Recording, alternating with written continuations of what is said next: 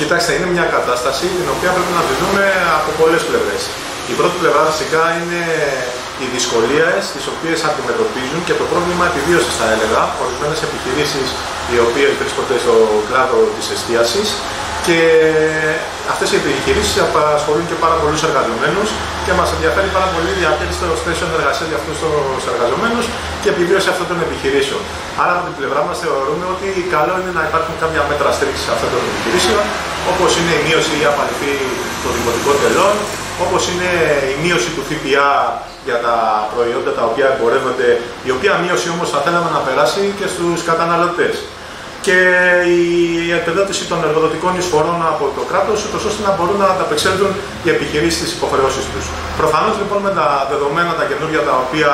προκαλεί η πανδημία του κορονοϊού, πρέπει να υπάρξουν κάποιες χωροταξικές αλλαγές.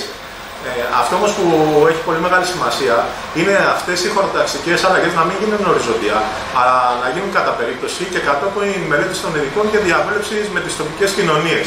ούτως ώστε μια πόλη που, στην οποία ζούμε, η οποία έχει διάφορα προβλήματα πρόσβασης στο δημόσιο χώρο.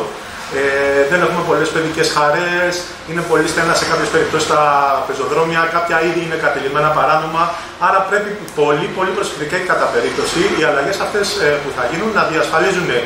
την πρόσβαση και την προσβασιμότητα στο δημόσιο χώρο και από την άλλη να υπάρχουν πάντα παραλίες και περιοχές όπου μπορεί και ο κάθε δημότης να απολαύσει το μπάνιο του χωρίς να χρειαστεί να πληρώνει. Ξέρετε, για μια οικογένεια,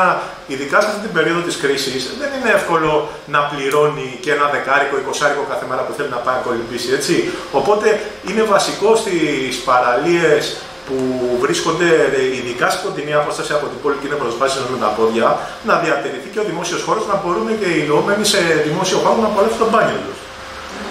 Όσον αφορά την πρόταση που καταθέτουν οι καταστηματάρχες για κλείσιμο και των δύο λωρίδων της παραλίας και η συμπολιτεία τη θέση. Κοιτάξτε, εμείς την κοιτάξαμε πολύ προσοχή την πρόταση. Θεωρώ ότι έχει κάποια θετικά στοιχεία. Όμως, επειδή εμείς δεν θέλουμε να κάνουμε τους παντογνωστές, θα θέλαμε αυτή την ε, πρόταση να έρθει στο Δημοτικό Συμβούλιο, να ακούσουμε τις απόψει και των άλλων παρατάξεων, να ακούσουμε τις απόψει των καταστηματικών, να ακούσουμε τις απόψει των πολιτών, να ακούσουμε τις απόψει των ειδικών και να κατατεθούν και ό,τι άλλες προτάσεις υπάρχουν προς αυτή την κατεύθυνση, να ακουστούν όλα τα θετικά και τα αρνητικά και τότε η κοινωνία με τη διαβούλευση της θα πάρει μια απόφαση η οποία θα έχει και κοινωνική συνένεση και θα είναι και ορθή τεχνικά.